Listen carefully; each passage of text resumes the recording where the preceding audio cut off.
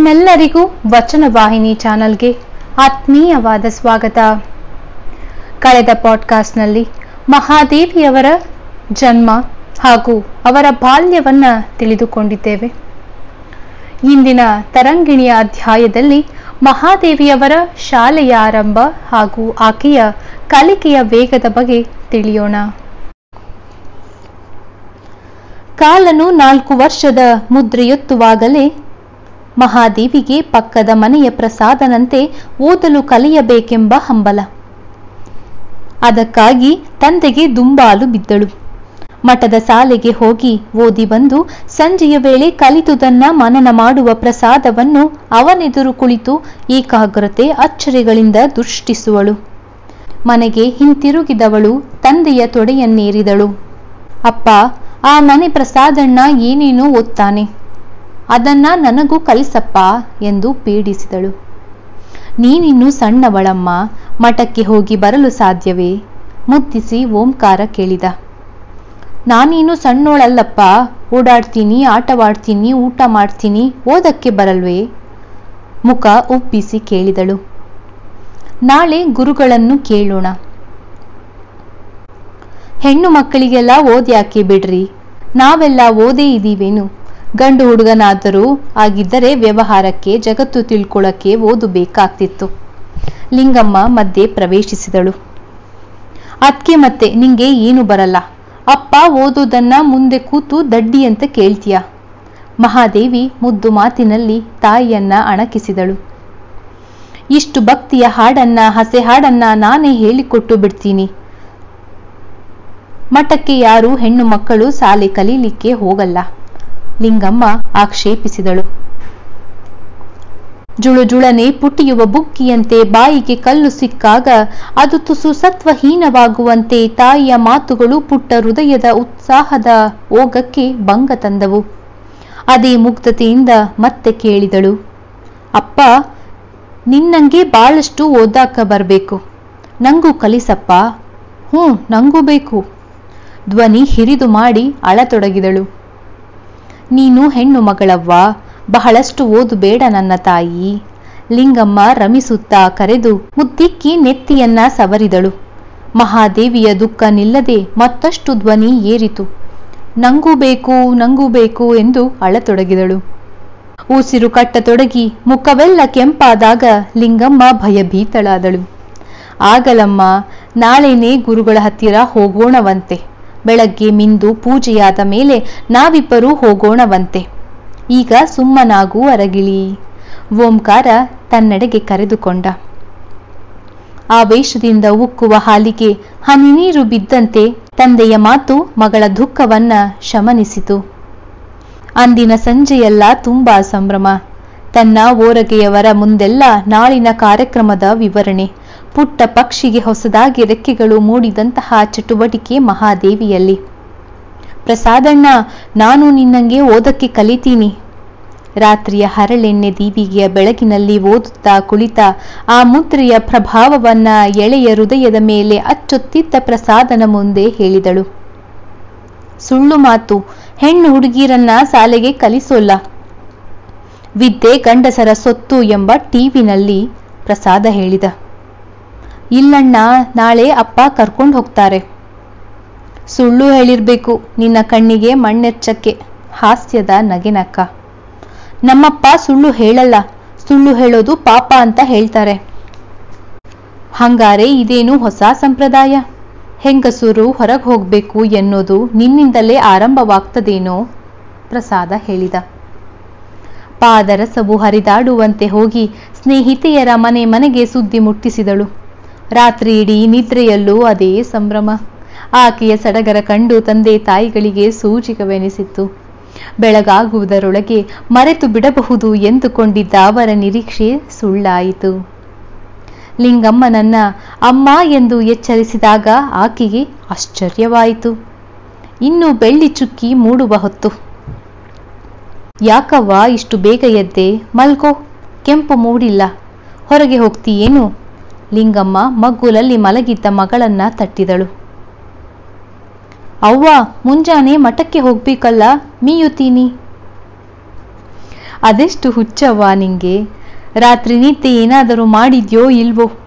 ಮಗಳ ಕಾಟ ಸಹಿಸಲಾರದೆ ಎದ್ದು ಕುಳಿತಳು ಲಿಂಗಮ್ಮ. ಓಂಕಾರನನ್ನ ಎಬ್ಬಿಸ ಹೊರಟಳು ಮಹಾದೇವಿ.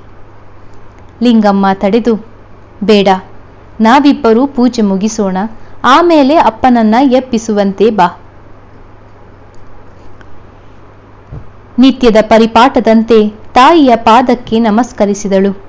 ಲಿಂಗಮ್ಮನಿಗೆ ಹಿಂದೊಮ್ಮೆ ನಡೆದ ಘಟನೆ ನೆನಪಿನ ಸರಸಿಯಲ್ಲಿ ಕಮಲವಾಗಿ ಅರಳಿತು.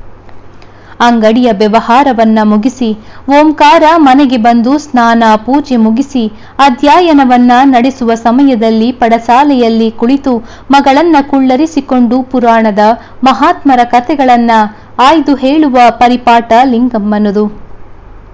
ಮಠ ಗುಡಿಗಳಲ್ಲಿ ಕೇಳಿ ಸಂಗ್ರಹಿಸಿದ, ಪತಿಯಿಂದಲೂ ತಿಳಿದುಕೊಂಡ ಕೆಲವು ತತ್ವಗಳನ್ನ ನೆನಪಿನ ನೆಲೆಗೆ ತಂದುಕೊಂಡು ಮಗಳಿಗೆ ಹೇಳುವಳು. ಜೊತೆಯವರೊಡನೆ ಸಂಜೆಯ ಆಟಗಳನ್ನ ಆಡಿ ಬಂದ ಮಹಾದೇವಿ ಅವರೆಲ್ಲರಿಗೂ ಕೈಕಾಲು ಮುಖ ತೊಳೆಸಿ ವಿಭೂತಿ ಧರಿಸಿಕೊಳ್ಳಲು ಹೇಳಿ ತಾನು ಹಾಗೆ ಮಾಡಿ ಎಲ್ಲರೊಡನೆ ಕುಳಿತುಕೊಳ್ಳುವಳು. ಏಕಾಗ್ರತೆಯಿಂದ ತಾಯಿ ಹೇಳಿತು ತನ್ನೆಲ್ಲ ಮನವಿಟ್ಟು ಕೇಳುವಳು. ತಂದೆ ತಾಯಿಯರ ಘನತೆಯನ್ನ ವಿವರಿಸುತ್ತಾ ಗಣಪತಿ ಷಣ್ಮುಖರ ಪಂದ್ಯದ ಬಗ್ಗೆ ಲಿಂಗಮ್ಮ ಹೇಳಿದ್ದಳು. ನಾರದ ತಂದ ಹಣ್ಣಿಗಾಗಿ ಇಬ್ಬರು ಪಂದ್ಯ ಕಟ್ಟಿ ಷಣ್ಮುಖ ಮೂರು ಸಲ ಬ್ರಹ್ಮಾಂಡವನ್ನ ಸುತ್ತಿ ಬರುವುದರೊಳಗೆ ಗಣಪತಿ ತಂದೆ ತಾಯಿಯರಿಬ್ಬರನ್ನ ಮೂರು ಸಲ ಪ್ರದಕ್ಷಿಸಿ ನಮಸ್ಕರಿಸಿ ತಾನೇ ಗೆದ್ದುದಾಗಿ ಪ್ರಕಟಿಸಿದ್ದನ್ನ ಹೇಳಿದಳು. ಗಣಪತಿಯ ಬುದ್ಧಿಯನ್ನ ಕಂಡು ಮಹಾದೇವಿಗೆ ಹಿಕ್ಕೋ ಹಿಕ್ಕು. ಅವನು ಗೆದ್ದಾಗ ಚಪ್ಪಾಳೆ ತಟ್ಟಿ ನಕ್ಕಳು. ತಂದೆ ತಾಯಿ ಅದೆಷ್ಟು ದೊಡ್ಡೋರೇನಮ್ಮ? ತಾಯಿಯನ್ನ ಕೇಳಿದಳು. ಹೌದಮ್ಮ. ಯಾರು ಬೆಳಗ್ಗೆ ಎದ್ದು ನಮಸ್ಕಾರ ಮಾಡಿ ಹೆತ್ತೊಡಲಿನ ಆಶೀರ್ವಾದ ಪಡೆಯುವರು, ಅವರು ಎಲ್ಲ ಸಂಪತ್ತನ್ನ ಪಡೆಯುವರು. ಈ ಮಾತು ಅಚ್ಚಳಿಯದೆ ಉಳಿದುದಷ್ಟೇ ಅಲ್ಲ, ಅಂದಿನಿಂದ ಮಹಾದೇವಿ ಬೆಳಗ್ಗೆ ಎದ್ದ ತಕ್ಷಣ ಸಂಜೆ ದೀಪ ಮುಟ್ಟಿಸಿದ ವೇಳೆಗೆ ತಂದೆ ತಾಯಿಗಳಿಗೆ ನಮಸ್ಕರಿಸಲು ಮರೆಯಲೇ ಇಲ್ಲ. ಶಾಲೆಗೆ ಹೋಗುವ ಆತುರ ಉತ್ಸಾಹಗಳಿಂದ ಮಹಾದೇವಿ ಸ್ನಾನ ಪೂಜೆ ಮುಗಿಸಿದಳು. ತಂದೆಯನ್ನ ಎಬ್ಬಿಸಿದಾಗ ಸೂರ್ಯೋದಯವೇ ಆಗಿಲ್ಲದನ್ನ ನೋಡಿ ಓಂಕಾರ ಬೆರಗಾದ. ಆಗಲಿ ಎದ್ದೇ ಬಿಟ್ಟೆಯ. ಅಪ್ಪ, ಮಠಕ್ಕೆ ಹೋಗಬೇಕಲ್ಲ? ಹೊತ್ತಾಗಲಿಲ್ವೆ? ಅವಳ ಆತುರವನ್ನ ಕಂಡು ಆಶ್ಚರ್ಯಚಕಿತನಾಗಿ ನಮಸ್ಕರಿಸಿದ ಮಗಳನ್ನ ತೊಡೆಯ ಮೇಲೆ ಕೂಡಿಸಿಕೊಂಡ. ಹಠಮಾರಿ, ಹಿಡಿದ ಹಠ ಬಿಡಬೇಕಲ್ಲ? ನಿನ್ನೆಯಿಂದ ಅದೇ ಪಟ್ಟು. ಮಗಳನ್ನು ಹಿಂಬಾಲಿಸಿದ್ದ ಲಿಂಗಮ್ಮ ನುಡಿದಳು. ನಂದಾಗಲೇ ಎಲ್ಲ ಆಯ್ತು. ನೀನು ನಡಿಯಪ್ಪ. ಅವಳ ಉತ್ಸಾಹವನ್ನ ಹತ್ತಿಕ್ಕಲಾರದೆ ಮೇಲೆದ್ದು ನಡೆದ. ಪೂಜೆಯಾದ ಬಳಿಕ ತಂದೆ ಮಗಳಿಬ್ಬರೂ ರಸಬಾಳಿಯ ಹಣ್ಣು ತಿಂದು ಹಾಲು ಕುಡಿದರು. ತಂದೆಯೊಡನೆ ಹೊರಟ ಮಗಳು ಕಳಿಸಲು ಬಂದ ತಾಯಿಗೆ ನಮಸ್ಕರಿಸಿ, ಅವ್ವ, ಇಷ್ಟು ವಿದ್ಯೆ ಬುದ್ಧಿ ಬರಲಂತ ಆಶೀರ್ವಾದ ಮಾಡವ್ವ. ಕೈಗಳನ್ನು ವಿಸ್ತರಿಸಿ ತೋರಿಸಿದಳು. ಮಠದ ಗುರುಗಳು ಇಲ್ವಾ? ಅವರಂತೆ ನಾನೂ ಆಗ್ಬೇಕು.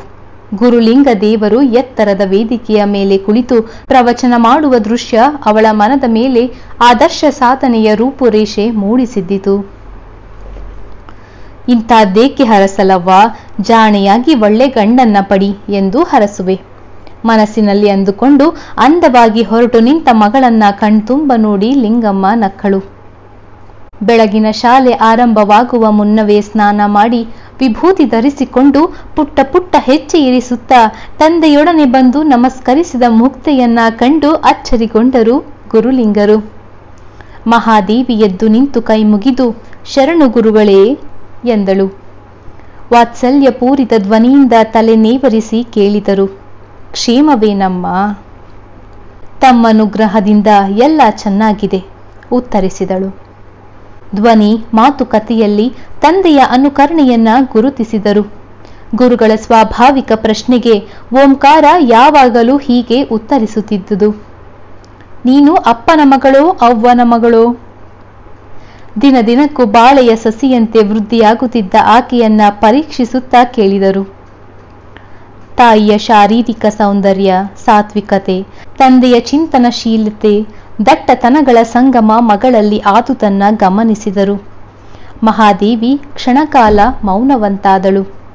ಬಳಿಕ ಉತ್ತರಿಸಿದಳು, ದೇವರ ಮಗಳು, ಗುರುಲಿಂಗರು ಸ್ತಂಭೀಭೂತರಾದರು.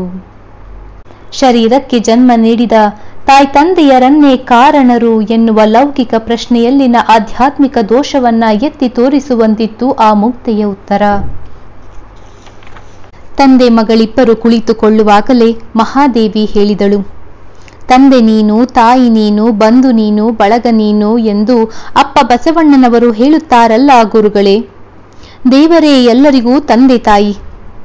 ಬಾಯಿ ಪಾಠ ಮಾಡಿದ ವಚನವನ್ನ ಸ್ಮರಿಸಿಕೊಳ್ಳುತ್ತಾ ಹೇಳಿದಳು.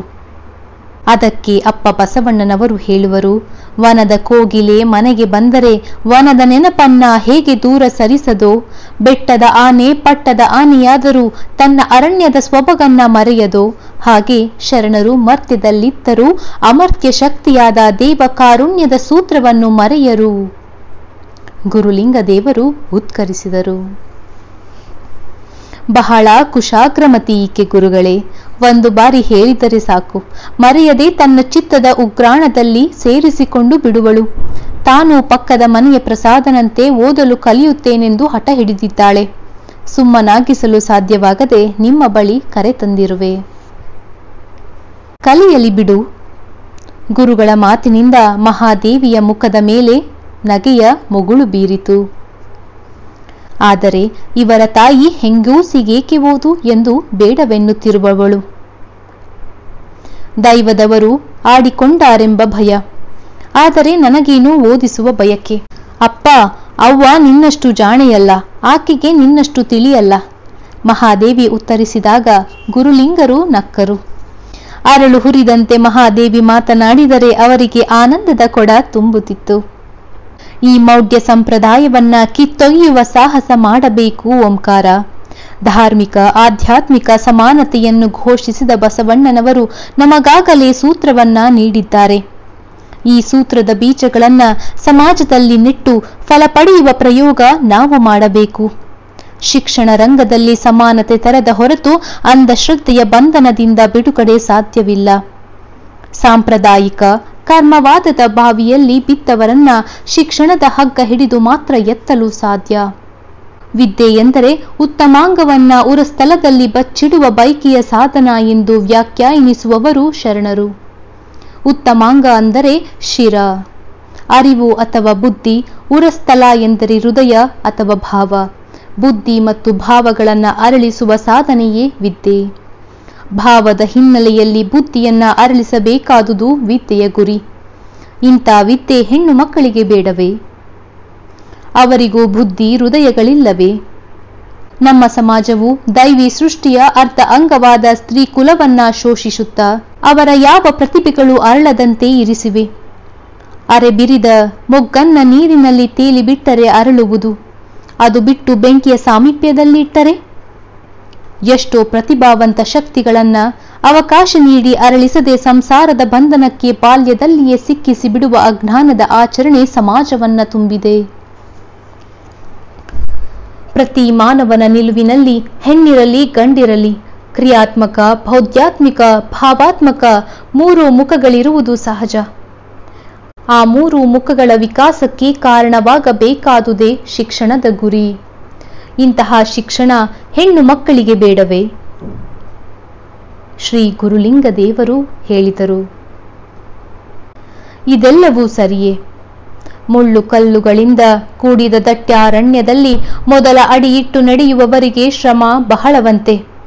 ಹೊಸದನ್ನು ಹಿಡಿಯುವವರಿಗೆ ಸಮಾಜದಿಂದ ಟೀಕೆಗಳು ಬಹಳವಷ್ಟೇ. ಓಂಕಾರ ಹೇಳಿದ. ಅದು ನಿಜ ಓಂಕಾರ. ಆನೆಯಂತಹ ಪ್ರಾಣಿ ಕಾಡಿನಲ್ಲಿ ಮುಂದೆ ಸಾಗಿದಾಗ ಆಡಿನಂತವು ನಿರ್ಮಾಣವಾದ ದಾರಿಯನ್ನ ಅಡಿಯಿಡಬಲ್ಲವು. ವಿವೇಕಿಗಳಾದ ಕೆಲವರಾದರೂ ಸಾಹಸದ ಹೆಜ್ಜೆ ಇಡದಿದ್ದರೆ ಉಳಿದವರಿಗೆ ಮುಂದುವರಿಯಲು ಆಸ್ಪದವೆಲ್ಲಿ? ಮೊದಮೊದಲು ಹೊಸತನ್ನ ಕಂಡಾಗ ಸಮಾಜ ಟೀಕಿಸುವುದು ಸಹಜ. ಮೊದಲ ತಂಬಿಗೆ ತಣ್ಣೀರನ್ನ ಮೈ ಮೇಲೆ ಹಾಕಿಕೊಂಡಾಗ ಮೈಯ ಬಿಸಿಗೆ ವಿರುದ್ಧ ತಣ್ಣೀರು ಕೆಲಸ ಮಾಡಿ ಹಾ ಎನ್ನಿಸುವುದು. ಅದೇ ಹತ್ತಾರು ತಂಬಿಗೆ ಬೀಳತೊಡಗಿದಾಗ ಮೈಯ ಕಾವು ನೀರಿನ ಕಾವಿಗೆ ಹೊಂದಿಕೊಂಡು ಹಿತ ಎನಿಸುವುದಷ್ಟೇ. ಯಾರಾದರೂ ಮುಂದುವರಿತು ಹೊಸತನ್ನ ತಾಳಿದಾಗ ಆಡಿಕೊಳ್ಳುವ ಸಮಾಜವೇ ನಂತರ ಸ್ಫೂರ್ತಿಗೊಂಡು ಹಿಂಬಾಲಿಸುವುದು ಅಸಂಭವವೇನಲ್ಲ. ತಮ್ಮ ಸಂಯ ಪ್ರಜ್ಞೆಯ ಆಳದ ಅರಿವು ನನಗಿದೆ ಗುರುದೇವ. ನಿಮ್ಮ ಮಾತಿಗೆ ತಲೆಬಾಗಲು ನಾನು ಸಿದ್ಧನಿರುವೆ. ಸರಿ ಹಾಗಾದರೆ, ಮಹಾದೇವಿಯನ್ನ ಪ್ರತಿನಿತ್ಯ ಕಳಿಸಿಕೊಡು. ನಿನಗೆ ಕರೆತರಲು ತೊಂದರೆಯಾದೀತು. ಅಕ್ಕಪಕ್ಕದ ಮಕ್ಕಳಾರಾದರೂ ಮಠದ ಶಾಲೆಗೆ ಬರುತ್ತಿದ್ದರೆ ಜೊತೆ ಮಾಡಿ ಕಳುಹಿಸು. ತಪ್ಪದೆ ಬರುತ್ತೀಯೇನಮ್ಮ? ಮಹಾದೇವಿಯನ್ನ ಪ್ರಶ್ನಿಸಿದರು. ಉಸ್ತುಕತೆಯ ಧ್ವನಿಯಲ್ಲಿ ನುಡಿದಳು. ಓಹೋ, ತಪ್ಪದೆ ಬರುವೆ. ನೀವು ಹೇಳಿ ಕೊಟ್ಟಿದ್ದನ್ನೆಲ್ಲ ಕಲಿಯುವೆ. ತಪ್ಪಿದರೆ ಗುರುಗಳು ಹೊಡೆಯುತ್ತಾರೆ, ಬೈಯುತ್ತಾರೆ. ಗುರುಲಿಂಗರು ಹೇಳಿದರು.